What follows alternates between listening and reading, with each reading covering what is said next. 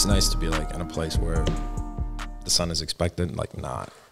You know what I mean? Not because you know in Michigan, it's like I, mean, I imagine you've probably been to Detroit before. or- I haven't actually. No, okay. Really? So in the Midwest, it's like man, when the sun's out, it's like oh, well, this is amazing. But then everybody Oh, else is yeah? just like you know, it's I've only been to Michigan once. I had a buddy in college uh, who lived in St. Joseph, Mich- Michigan. it's Okay. wine country. Yeah, a little bit of wine. Yeah. Is down it? that way. Okay, I have Mhm. no clue. That's not where I was in culinary school then. So Yeah. we drove from Hyde Park, where the CIA is, Okay. all the way to St. Joseph. It was a long fucking drive. Did Yeah. you live where um you live in, you lived in Hyde Park? Yeah, I went to school there. So Okay. I was there for four years. Yeah. Uh, I went to visit his family. Um, we're eating at at the time Charlie Trotter's restaurant in Chicago was still around. So we, the whole goal was eat at Charlie Trotter where we ate. So we visited his family in drove down to Chicago. Got it. dinner. Yeah. Love Yeah, it. we're we're currently staying up in that or near that way, uh, South Haven, Michigan. Cool. Um, so yeah, there's a nice little wine trail that's uh, popping up on the southwest side of the Mhm. state. Yeah. I work in the Fennville AVA, which I think is was the third AVA uh, Cool. to be established um, in the country. Uh, but yeah, we're, we're definitely doing some cool things. Our- Uh, the winemaker at the winery I work at was originally from out here, uh, a couple miles near Calistoga, Yeah. uh, but moved out to Michigan just to experiment and just have the freedom and flexibility to just kind of Yeah, play around with the grapes that he wanted to play around yeah, I think with. it's nice that it's um, regions outside of like California, Washington, Oregon, and Yeah. New York are actually getting some Yeah, attention because they make very good wines. we do, we do, we When I was in uh, when I was in Colorado, we used to they make really really good wine in Colorado because it's high elevation and it's nice and cool. yeah, Um, and, um, they're not cheap, but they're delicious. Yeah. Very good, very good. Where did you uh you live in Hyde Park? Well, the the campus is sort of like just outside of it's like in between downtown Hyde Park and Okay. Poughkeepsie, which is interesting because Poughkeepsie was um, Poughkeepsie was sort of like I grew up in DC, so it was sort of like PG County where it was like one. A lot of the housing projects got knocked down and so forth. and Mhm. People got displaced out. So Poughkeepsie ended up being this place where a lot of families from the, the city would, would move out of the city to move up there. So it was actually like a really it was like a a hub for like drug activity Mm. but it was a town over from Hyde Park is where FDR's house is and where the CIA is. It's like a really nice rural town. Yeah. And then you got Poughkeepsie next to it, which is like completely hood and like you go to like a store and they've got like the bulletproof glass and Yeah. yeah, it was a really odd mix. Yeah. Yep. So I don't know if well people that are listening will probably know this, but I've listened to a couple podcast episodes with you. You weren't always bald. That's correct. Yeah. That's correct. I also wasn't always bald. Yeah. But I didn't have cornrows like you though. No, I uh, I used to have very long hair actually. Yeah, but that was like the thing when I was in high school. Everyone had long hair. Um, so, um, and then I started working in the hospitality industry, and that, yeah, Yeah. it changed wasn't gonna everything. cut it. Definitely. No, I started to, you know, we, we I started. You start seeing like the widow's peak. Oh, you know, yep, yep. well, when I went to college, I had to cut my hair. My grandmother made me cut my hair. And so, you know, it's like go to the barbershop, get a shape up every weekend kind of thing.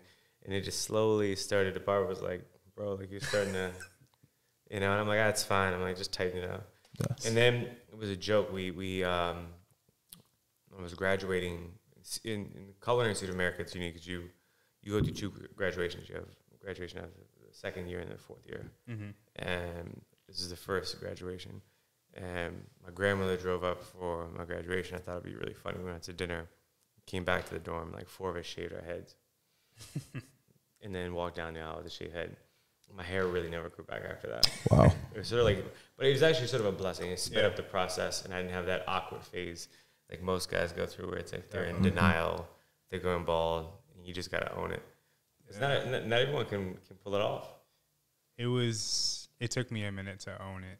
For Yeah, sure. and it's actually Yeah. very easy. But I mean, the way you held on was like super smooth. Like, I, I was, I was proud of you. Yeah. but it, it's actually very easy. It's very convenient. Yeah. Oh You yeah, know. for sure. Occasionally, I'll, I'll go and I'll, um, that was the great thing about growing a beard. And is occasionally I'll go to the barber shop to get it shaped up. Yep. So you like Mhm. rekindle, you know, the relationship with the barber shop. Yeah. that experience. Definitely. Which is nice. But it's very different here because there's no.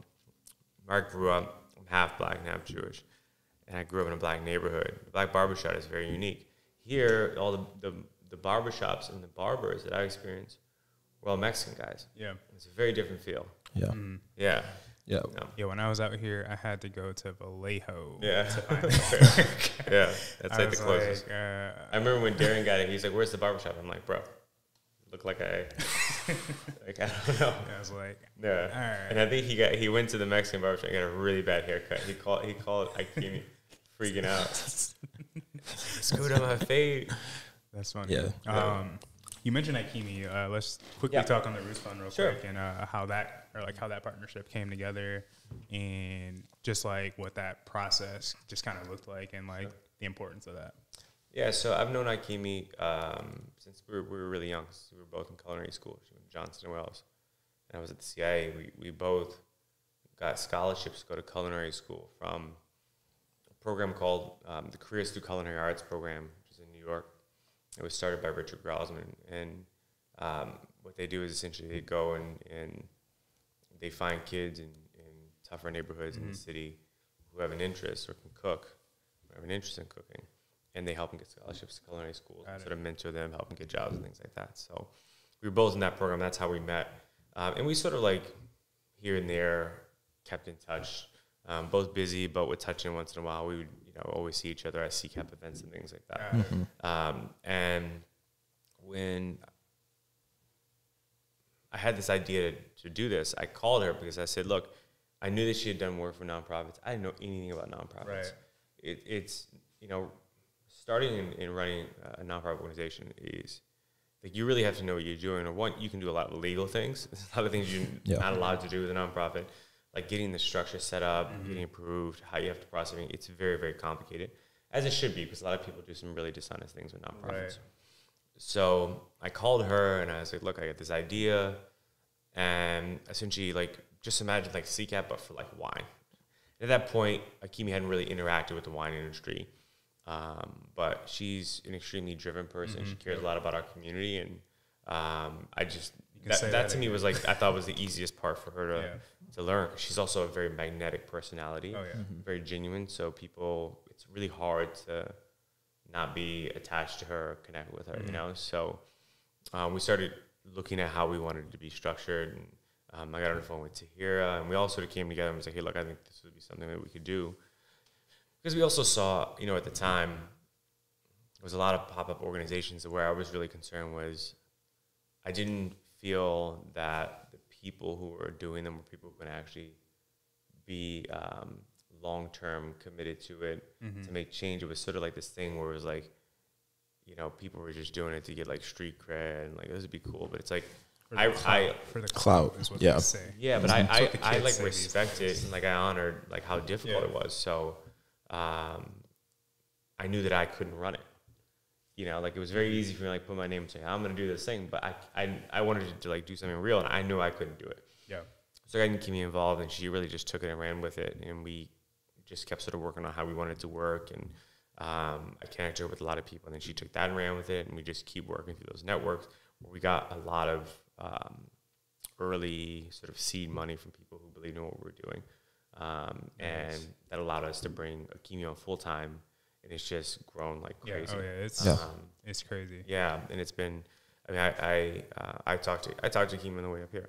Um, she's like my sister. We, Yeah. um, but we, um, as much as we talk, I- Ikimi does her own. She does it. Mhm. You know what I mean? I'm, Oh, I'm, yeah. I'm now a board member. Tahiirah's a board member, and we advise, but it really is her Yeah, really oh, running yeah, it. she's got a small team. These ladies are just are killing it. So um, it's been it was, great to be a part of something that um, it, it turned out better than even what I Oh yeah. perceive, which is which is really fantastic. And it's to me, it was sort of this. It was it was a moment where I was looking at.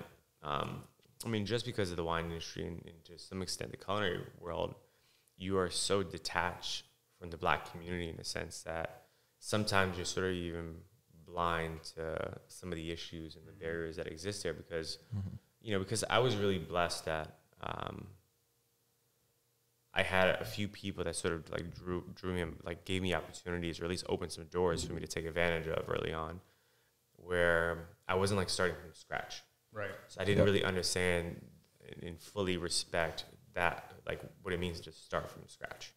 Um, and being in the culinary industry actually helped me into that door of restaurants.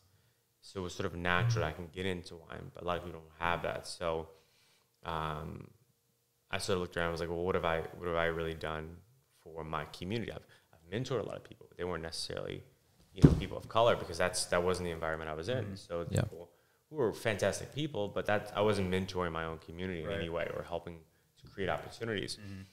So that was really the the driving force. I was like, you know, I'm I'm at the age now. I'm in a place where I can create. Um, I never thought it was going to be like the Roots Fund. I was like, it could be Yeah. even just a few people, um, you know, to try to, to to make some difference there and create some opportunities. But um, and then it just grew into something Yeah. huge. Super crazy. Yeah. I mean, that's that's like I.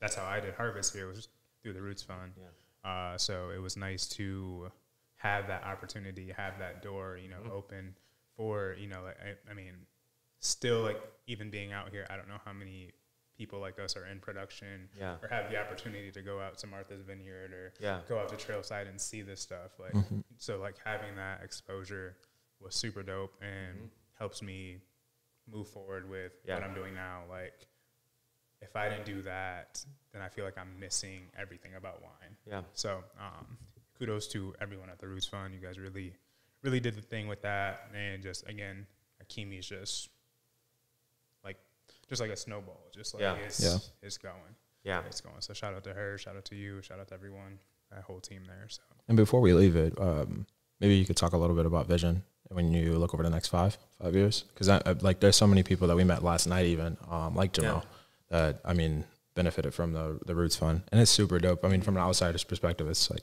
dang, Yeah. You know, you Yeah. almost wish you could take 10 years back. And even though, I mean, the opportunity presents itself now, and Jamal killed it, um, and had a lot to bring home and has done a lot for people in our community, which is a passing on effect. What does that look like uh, in the future?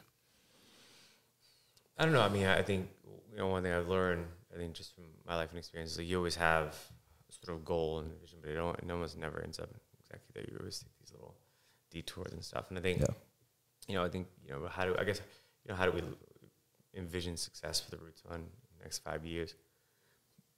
It was always about um, getting people employed and having careers. You know, I'm um, I'm you know, anytime someone tells you they're a hustler, that means they're a capitalist. And I'm American through and through. I, you know, I believe in ambition. I believe in, in, um, you know, working hard to be successful, and um, at least that part of capitalism I believe in. And I, I, I've always said that unless people have jobs and they have careers, Yeah. then then it's all bullshit. Like I, I, I did not want to create a culture of people just sitting around studying books just for the sake of it. That's great culture, but how you, you know what's what's the career like?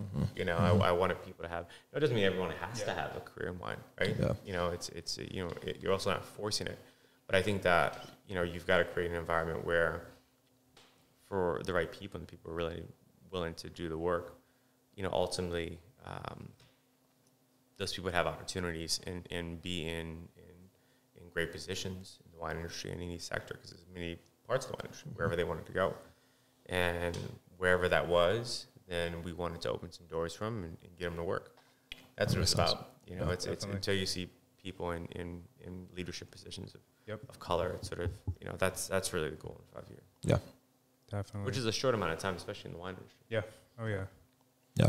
Yeah. I'm, I'm definitely super blessed to, you know, like again, having this experience, the confidence to go back home. Like a year and a half ago, none of this would even be possible, honestly. Uh, with, with, without this platform, this podcast, and even that it was like send my resume to the Roots Fund, send my resume to Wine Unify. Who Yeah. cares? Fuck it. Like Yeah, they're gonna say yes or no, whatever. correct. And if not, I'm still go get it. Thankfully, I was able to um, have these opportunities with both organizations, but even like looking at the job I t- or job description for the marketing manager job that I have now, a year ago, I would have been like, "There's a couple things on there I don't have," Sure. and I would just toss it aside. But to have this confidence to see, even there's still was a couple things where I was like, eh, "All right, whatever," but I'm like, I can do this. Like I've been doing this. Yeah. Yeah. So uh, just to have that confidence, um, just to you know walk in that room and knowing that I'm the only one for this job right now. So um, super dope to again be out, out here with the community. Uh, shout out to Daryl. Just like like-minded folks that are go-getters. Um, you know, talk about Darwin, George, Darren, like everybody that's out here. Like we all, all have the same goals. So that just helped me like push past the things that I thought I couldn't do, just because that everyone out here is doing it. You're doing it. Just like man, I can't thank this place enough, and then just everybody that wants to get shit done. Yeah. It's been dope. So Big ups, big ups. Question for you, really quick.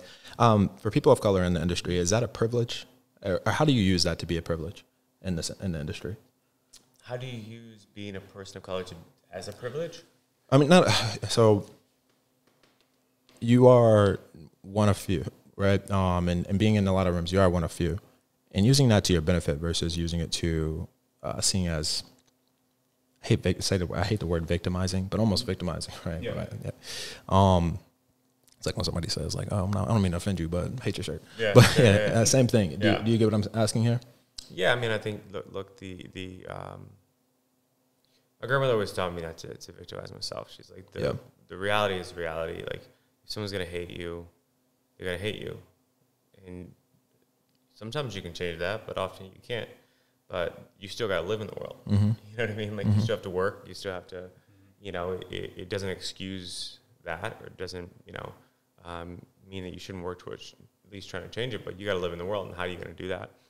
And I think that we're in a world now that people are aware the value of different perspectives and in, in, in, in points of view in, in a room uh, and the value that can have for teams and for companies. And Yeah. I think that that's, you know, that's a new sort of epiphany a lot of companies have had. So I think it's, it's about being your true self and having a different perspective that can bring value to a company. You know, I, I I was doing this interview and, and someone asked me, it was a very good question, which is, what can African Americans bring to the wine industry? And it wasn't an insult, it was, it was a question asked by a very intelligent person. And that's just a great question. So I sort of answered it through the guise of every other industry. I said, well, you know, what have African Americans added to fashion, into art, to music? Um, it's all very different, but it's its own unique culture that doesn't exist anywhere in the world. I was, I was watching this this interview with Quincy Jones when he, he talks about he says he doesn't want to be called African American. I want to be called Black American because my experience has nothing to do with Africa. He's like my culture, just like every culture in the world, is inspired by it. He's like, but we're a very unique culture in the world that has had probably one of the biggest impacts of any culture in recent history, um, culturally. So you have to understand the value of that, the significance of that, and it's a beautiful thing when you can see your culture. I, I travel all over the world, and you see Black American culture everywhere. Go to Korea, their fashion, their music, everything. It's, it's like right out of like Queens. You know what I mean? Like it's nuts. Um, they even practice religion the way we do. Like they have Baptist churches and Pentecostal churches. It's nuts. Yeah. Right. So you have this really, really unique um, perspective on the world that you can bring to that boardroom, to the table, or to the cellar, or wherever you're, you know, you're working. And I think that's really important now. I've always tell people as well is, you know, you, um, you know, acclimating has always been looked upon as a very negative thing. The idea of going into the room and not being 100% your true self. And initially I was on that boat, and then I started realizing that no one really is. Like if you could take the whitest person, they go in the room, they're adjusting themselves somehow for that environment. Mm-hmm. Yeah. They just are. Just looks different. And. I think the way our community takes it so tough is because we've had, you know, because of our history here. But everyone who's coming into an office somewhere, in some way, is addressing. It's the way they dress. You, the way people dress at work, they don't dress like that at home. Mm-hmm. Right. You know, Yeah. the, I mean, the the way you speak to people, it's very different than you speak to people at home your mm-hmm. family. Everyone. Yeah. So also understanding that like being your authentic true self doesn't mean that you don't have to adjust who you are a little bit in, in the workplace. That should be expected depending on your environment. Mm-hmm. But I think there's a point of view that the Black American community has that can make the wine industry, I think, a much more exciting, more soulful place. That's the nature of our culture, and I think that um, we're very high spirited, very soulful people, and very genuine.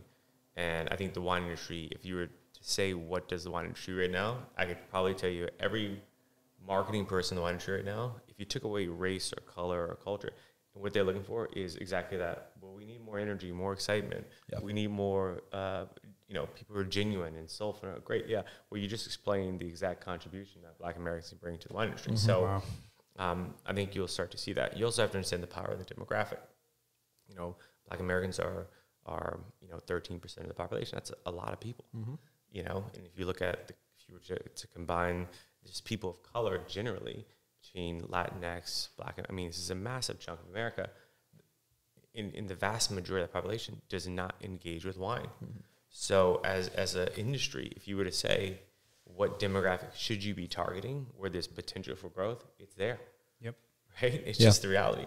You know, the people who are already drinking wine, the goal is to get them to drink a little bit more upstream. But there's so much of this country that does not drink wine. You know, because there, you know, there's first of all, there's aren't, there aren't people who look or sound like them selling it and getting behind it. Um, but culturally, because it was looked upon as a class thing, this European thing, they were sort of like, whatever, that's your thing, this is our thing. And I think that that line is is is, is being removed now, which is exciting. Yeah, definitely. I mean, that's I mean that's our goal of this platform. You know, to make it more accessible. To make you know, like you know, like we have friends that don't know jack shit about wine. Uh, we didn't know jack shit about wine. Yeah. Oh yeah, You know, hundred. I mean, Yeah. Who knows what the hell we were drinking? But but you know the thing is, I also feel it's it's it's tough because you know people well you know we find that liquor and beer consumption is going up and wine going down. Like then you you know for me, I try to pull the geek out, and it's it's and it's probably obviously because like I'm a master sommelier, I study wine for so much of my life.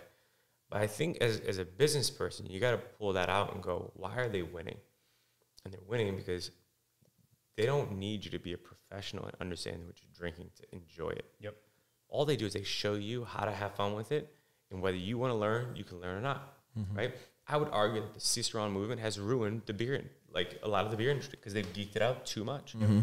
And this idea that someone has to be a wine pro to take pleasure out of wine is is what deters a lot of people it's the way us project it like the idea that every time you see someone in a movie drinking a glass of wine or something like that they're in a, like a nice you know, Suit. Yeah. Yep. you're like, well, I don't dress like that, so it's not for me. But what do you see in beer commercials? You don't see people dress like that. No. You know, you just don't, and, and that's why they win. You know, in spirits commercials, unless it's like a really expensive spirit, you don't see people interacting with a beverage like that. Yeah. So You know, true. wine is is is trying to chase a demographic, but are but like, are we really? And is can wine the answer? Maybe part of it, but I, I would imagine like most people don't want to drink wine out of a can. It's fine. It's very convenient. Yeah. But like at, people were like the, the idea of opening a bottle of wine. Oh yeah, for sure. But if we can show people doing that more casual, I think that's starting to change, which is fantastic.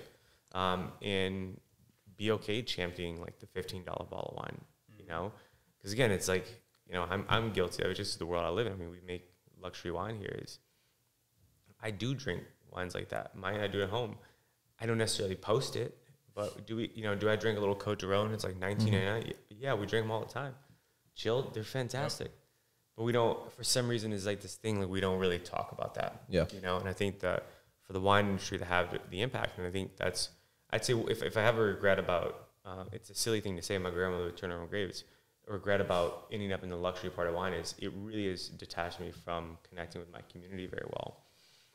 So I know it's silly, but like I would love to have a wine project that makes like inexpensive wine because I think just by nature it would connect me with a different mm-hmm. demographic that I would I, I think I would really take pleasure Yeah. interacting with. Like if I could make you know twenty dollar and under wines, Yeah. you know, and make them tasty and like connect with that community Right. because no one enters the wine industry through you know, the cheapest bottle of wine we at Macon Heitz is seventy five dollars. Right. Like, you know, no one starts there. Yeah. Yeah. You know. Yeah, But I think definitely. you guys, but I think you guys are definitely doing like obviously you have Brendel, Yeah. uh, yeah. which is you know still not It's not under inexpensive. twenty, but you No. know, but but it's It's like, the cheapest one is like a white one. It's like twenty eight bucks. That's like very. That's so. So being on the side of the industry as well as also, I, I, I'm, I have a lot of access to data. And when you actually look at it, like a twenty eight dollar bottle of wine is looked at as a luxury bottle, because eighty percent of the wine in America is under twenty dollars. It's actually probably like fourteen ninety nine under. So like when you get to like twenty eight dollars for like a bottle of Sauvignon Blanc because it comes from Napa and it's made by you know Brittany, who's a really well known winemaker, Shout out to Brendel. and we, you know, it's made on very expensive ground. And we farm it biodynamically. There's a reason for it to be expensive. Still expensive. yeah, You know, it's just it's difficult in Napa to have entry level wine. I know the numbers behind it. It's really really difficult. And Yep. it, it, in the next five years, it'll be non-existent. wow, Yeah. wow. Before we get out of here, should we switch over to some more rapid fire music? Yeah. For, uh, for our guy here. All right. I, I mean, as long as he's okay being in a hot seat, yeah, we're good. Yeah. For Okay, sure. uh, All right. First off, was was the were the braids in high school inspired by Allen Iverson? You know, Allen Iverson, he was, you know, um, he spent a lot in D, a lot of time in DC because you know Mhm. he was he was at um, Georgetown. He'd always be out in clubs, and you know, but that was that era. Um, everybody had them. I mean, Okay. I had- there was you, you had cornrows, but then there was also like the really thin braids that everyone had. Yeah. I had those for a while. Yeah, I, I wore it all. You know. Yeah, I, I was either gonna be him or you, we just saw Jamie Foxx and uh, the Kanye West thing. It was either those braids. I didn't know which who who It inspired was, him. it was yeah. the same era. Okay. It was the same era. I mean, when you look at that, he was yeah. It was like um, he did that album. Uh, was it 02? He made it and came out in 04. Yep. So yeah, I graduated from high school in 02. So I Okay. s- I, I grew my hair out in '98. I had long hair for about five years. Um, wow. Yep. and yeah, that was like a thing. You know, Yeah, it was a pain in the ass. I enjoy being bald much more. It's so Yeah. much easier. Oh yeah. My sister used Shots to braid. My sister was like, she was like the girl in our hood that would always braid hair. She was really good at it. Her and, and one of my cousins. So that was a luxury. I didn't have to pay. But man, it's such a pain in the ass. Mm-hmm. It really is. Um, but I feel like once you go bald, you, it comes with the package that you're gonna grow a beard. Like I, I haven't got that yet. It's about So, balance. yeah, Yeah. yeah. About I just I just grew this in like a couple years ago for the first time. Definitely Yeah. interesting. Well, let's go. Let's do the music. I'm, I'm, I'm excited. Yeah. So I know I asked you at some point during harvest, and it was pretty early. I, I just want to see if the answer changed. Is it still CLB over Donda? Yeah. I mean, I like some of the music. It's just, you know, I, I, uh, I'm, I'm actually, I'm, I'm a huge Kanye fan. Yeah. Mhm. And I've, even through all of his ups and downs, and I always tell people, I don't care about that. I don't, I, I he's not in my house. I don't care if he says something goes off. I, he's a musician. I listen to his music. His music's, there's very few people in the world who've ever made so much more brilliant music as he's made. Mm-hmm. I'm not, I'm, and I'm not even touching the stuff that he released under his own name. I'm talking about just stuff he's Oh, yeah. produced. yeah. The Beast Man. He's, he's a brilliant guy. He really is. Um, and uh, but yeah, Donda was like not one of my favorite. Like he has better albums than that. Yeah, oh, so yeah. much Yeah. better. But I think he also I, what I what I do like about it is that I, I love that he has the freedom to do what he feels is how he wants to express himself, and he, you know, he's got I think enough. He has enough success now. He can do that. Yep. Um, but is it what I want to always listen to driving around? Like that's always a test. Like what do you put on when you're in the car? Right. or you're just chilling around the house. Like I'm not listening to Donda, you know. Okay. And yeah, yeah, Certified Lover Boy. yeah. I like. Drake. I Yeah. I like Drake. Yep. Yeah. I have nothing to say. Good go ahead. Yeah. There you go. It's I a mean- good pick. I understand Yeah, it. yeah. It- Yeah, yeah. yeah. it's a very good album, Donda. Yeah. Yeah, It's- If you would tell me Donda versus someone else's, it would be Donda. But between For those two albums, you know, I just think that Drake Drake has um, It's a fair trade, man. Yep. It's fair he's very brilliant at making music that's very melodic Mhm. and you know, it just is like it's just the way he's and he's a great lyricist actually. Definitely. Yeah. Um, correct me if I'm wrong. I don't think I'm wrong. J. Cole is your favorite, right? I wouldn't say my favorite, but I really, he's- um, I think he brought a lot to um, the genre that people probably don't give him credit for. Because he's, I wouldn't say he's like the most exciting rapper. It's not who he's trying to be, but I thought, I think he's, um, he's so thoughtful um, and, and intentional, and he's, he really went like sort of counter to the way I think a lot of rappers like present themselves and the way they talk about things, and um, I, I really like that about him. You know what I mean? I, I like Yeah. when you see him go on stage. He came on stage with like some Crocs and sweatpants because that Yeah, was just, just- like what he wore. Yeah. And he was like, "Yeah, I'm comfortable with this." Like the fact that he can do that, and because he owns it, he's so confident. People just go with it. Yeah. So I really I, I like that about about him. Speaking on those rappers, uh, like J. Cole, Kendrick, Drake, what is your who who's in your Mount Rushmore? Top. Yeah, top five. I mean, I, I think without without a doubt, just because he's, um, I think part of it is as well. As you have to remember, is like music is, um, it becomes like a like the soundtrack to your life, you know. Um, and I was listening to a podcast yesterday. and They were talking about the impact of music versus film, and which one is most impactful. And, and everyone unanimously said music. One, because the way you digest it, it's easier to, to to consume the genre or movie. You have to be like sitting and watching music. You can be running, you hanging out in the house, Yeah. car, whatever. You can always hear it, and uh, you know you can. Um, they're also it's, it's, it's shorter, right? So you Mhm. listen to a four minute song versus sitting listen to a, a two hour movie. But I'd say Jay Z because he um, one he was it was the first rap album I really listened to. Okay. In DC people didn't listen to rap. Mm. They, Hmm. it, it was it was mainly because DC and in New York um, didn't have a really great relationship because of crack cocaine, and they were competitors. So a lot of people were getting stuff down south by Richmond and Petersburg in that area, running up through DC, and it was just this whole cultural rivalry. So I didn't know anybody in DC that listened to rap music. Nobody. Like even the early stuff, no one did. We listened to go-go music. Go-go is Wow. a, it's a genre of music that's pretty. It's indigenous to the DC area. It's inspired a lot of music. If you hear um, like LL Cool J rock the bells, well, like when Rick Rubin did that song, he Rick Rubin when he was in New York would come to DC all the time to go to go-go um, concerts, and he legit brought that up to, to play for Rock the Okay.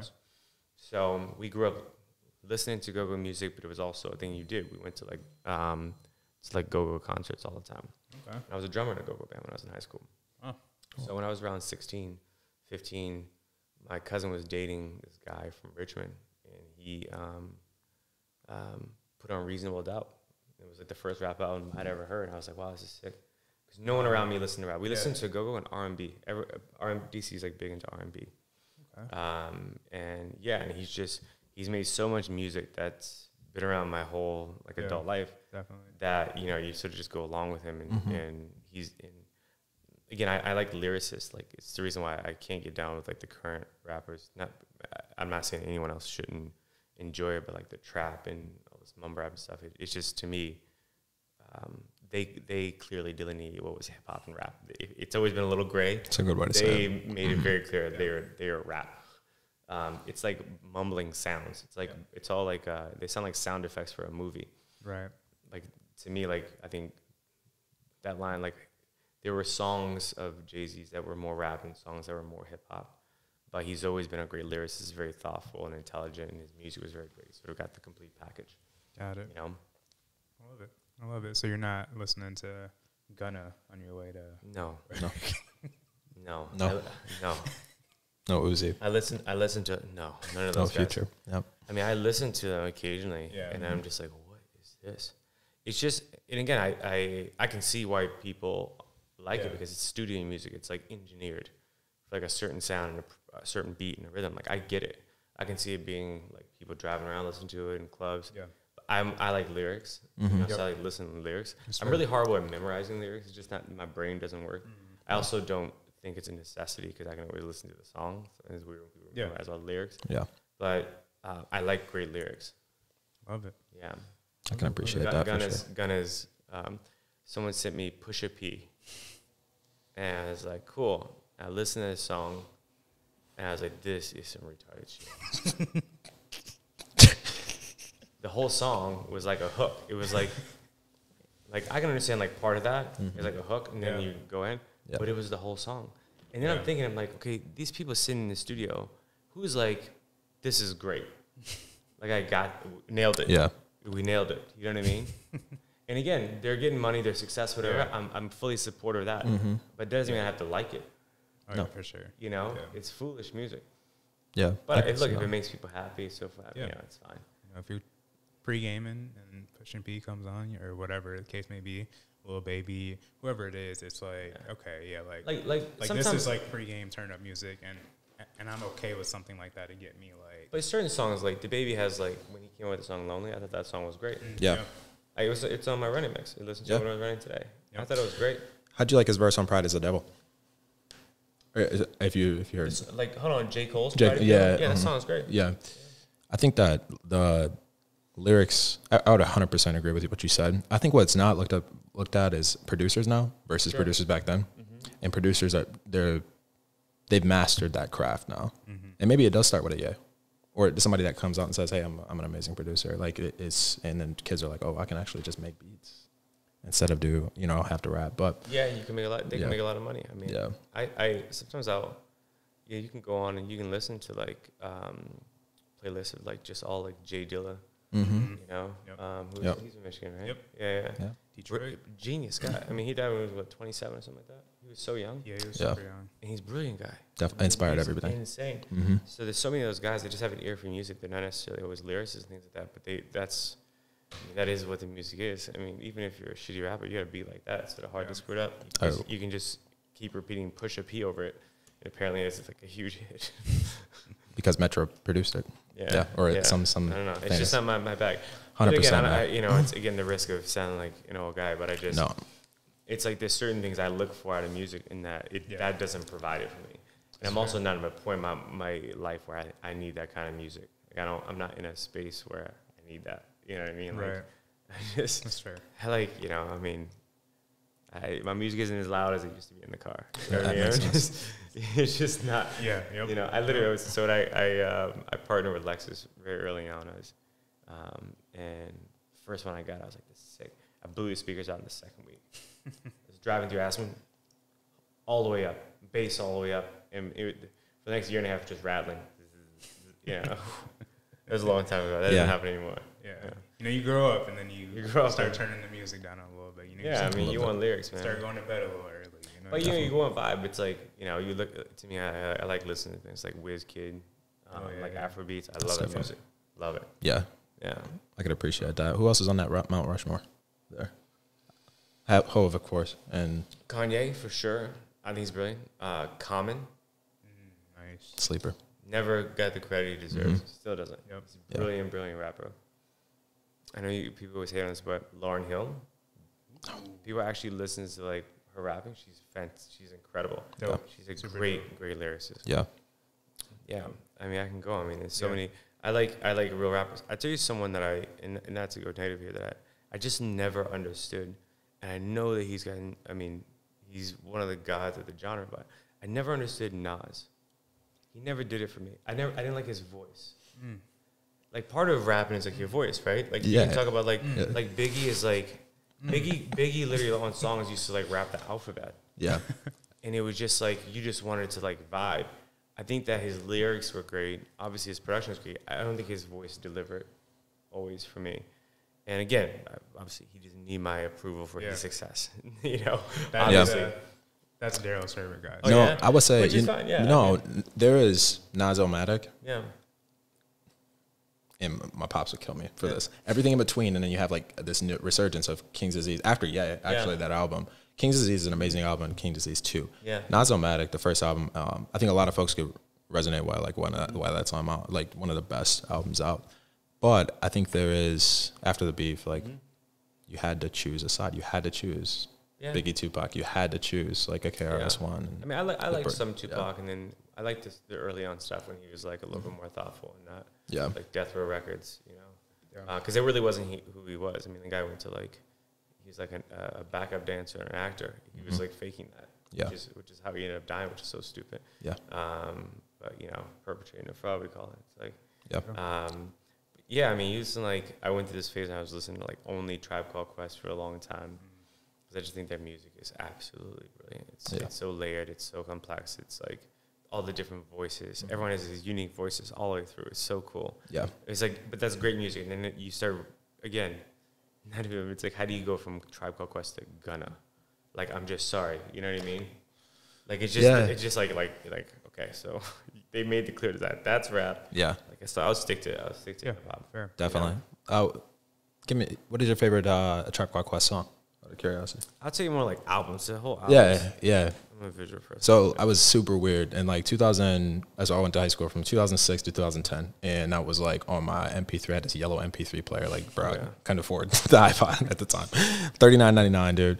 And I used to uh, rip off a LimeWire, like a Tribe Called Quest music, like crazy. Some of my pops, like he was definitely a music head, but not as much as me. I got super weird, like Yeah. with. I mean, not super weird, but it was just like. Four, 15 years later, you know what I mean? But like a lot of people jump to Bonita Applebum or Check the Rhyme or something like that. But What's Yeah. the Scenario is probably one of the best, the remix, Oh, that's great. one of the best like group songs that have. I there's so many lyricists in that song, like, and then they, they had a whole clique, so it was like them. From my understanding, Yeah. De La Soul, who was who Yeah. Uber slept on, is one of the best Yeah. groups out there. But also, I mean, Busta Rhymes. A lot of people don't even know that Busta Rhymes was a part of a group before he started before he went solo. So, yeah, um, Lords of the Underground was another one. Like I had this for some I don't know, man. It was to admit, I was playing catch up here. Like I told you, we didn't Yeah. really listen to rap, so this is all like new. yeah Um, so Low End Theory, I've probably listened to the most. okay I could always look when I see the cover. I can remember. yeah Um, so I didn't I didn't start listening to, to them until later. Yeah. We I, again, it was all playing catch up at that point because I didn't Mhm. we didn't really listen to rap. But I um, I just always loved the integration of jazz into their music, Yeah. into their beats, which I thought that was just really um, like really incredible. Um, Super smooth. and video, Super smooth. videos as well. They had like mhm. different videos, like um what you would see on like yo the MTV raps or when you go back to like YouTube, like you see their videos and whatnot. It was it was a little bit different. They also had the intro though, William Bros too. So shout out to them. Yeah. You know, I, I, I, someone who I, I used to not get, and like maybe about two years ago, I started to like, ah, it was Rick Ross. Mm. He was in that same realm of just like, Yeah. I just didn't understand. And then he put out this album, and I was like, wow, it was, it was really incredible because it wasn't just like, like, you know, bullshit rap talk. It was like, yeah, Mastermind. yeah. it was, it was, um, it was so well produced, and the, and the music was. What came out right after Mastermind? Because the Mastermind was the intro of the Oh. Ra- rather you than me. Yes. Seventeen. That album was Mhm. so great. Yep. And it was like the first time you could see like the music had become like mature and Mhm. his lyrics are better. I was like, wow, this guy's good. He, and again, same thing in delivery. You know what I mean? Like Yeah. the guy can say anything and it's just like he crushes it. Yeah, he has a voice for it. Yeah. he- lyrics. I mean, he is. Uh, he does say some things though. Like Rick Ross will throw a few a few lines out there that, Correct, he that will. might get you. yeah. But But a when lot you of it's like grandiose. Yeah. Check out my Lamborghini, how much money I have, Yeah. sort of thing. I Go- hate that kind of stuff. But- it's like and I It think- is. yeah. that's true. That's It's just not my kind of thing. But I think it's luxury rap, right? For the most Yeah. part, Quote, unquote, yeah. It's like motivational, and like when you hear him speak, it's like, oh, this nigga really out Yeah. there. Like, okay, yeah, he is. He's, I feel like I can like take over the world now. Yeah, Well, he's like trying to like teach people how to be entrepreneurs Yep. and things like that, and get their own and stuff. Definitely. Like that. And I think that's, uh, and I think that that's a beautiful thing that's happened to to, to rap culturally is like, um, you know, a lot of them sort of becoming smarter business people. hmm Same thing in, in, in athletics is um, they're not really allowing themselves to be taken advantage of anymore. Yeah. and they're owning things, and the amount of wealth now is is beautiful. I mean, it's great. Is. these guys. I mean, you look at LeBron. LeBron was a billionaire by the age of like what 36, 37. and he's still playing basketball. At a high fif- level. score fifty six last. High level. Yeah. yeah, yeah. High. If you're nineteen, that's, that's yeah, nuts. Jamal. But these guys are, you know, they're they're smart business people. They're making more money off the court now Yeah, on the oh, court. yeah, Mhm. for sure. You know, and a lot of the rappers they're making more money outside of their genre than the music they're making. Yeah. Definitely. They're just smart. I mean, you look at again, Kanye's a perfect example. Yeah. He made his wealth, you know, outside of music. Oh. Yep. A lot of those guys do. Jay Z too. Yeah. Yeah, and it's it's uh, I I think it's a really beautiful thing of just because it, you know before obviously there was there was this correlation between black community, especially athletes and, and musicians, just being like these idiots who just got taken advantage of, like a bunch of flash. but They don't have any assets and like that. And these guys are smart enough, and like now they're they're like growing actual wealth. They are. Yeah, They are, man. I love it, man. We Yes. appreciate you, man. Seriously. Yeah. Thank you. You got places to be. We got you guys places do to too. be. Yeah. you got a reservation. yeah, we yeah. I gotta get there. yeah, so we got to get there. Uh, again, just thank you for taking the time. Um, thanks for everything that you've obviously done with the Roots Fund, uh, with Heitz. Um, again, just making it easier for people like myself to come in here, work production, get something out of it, bring it back to a whole different region, and start to do my own thing. Like Yeah. back in Michigan. So kudos to you. That's the goal, man. That's on the run today. Um, It's a great run. Yeah. We'll be in touch for sure. Get a coffee. Thank you again. Thank you, man. And the Have fun domino effect, the, the domino effect. Sorry, not to cut you off Yeah, at all, but the domino effect I had on Jamal. Jamal's bringing it back. Like he's he's doing. I mean, doing things for real, and, and he's putting us on uh, not only from the podcast perspective, but just everybody around him, man. Like so, It's I, much appreciated, man. Much appreciated. That's what it's about. Yes, sir. Take a little bit and grow it. It is. Music in a bottle, episode ninety two. Yeah.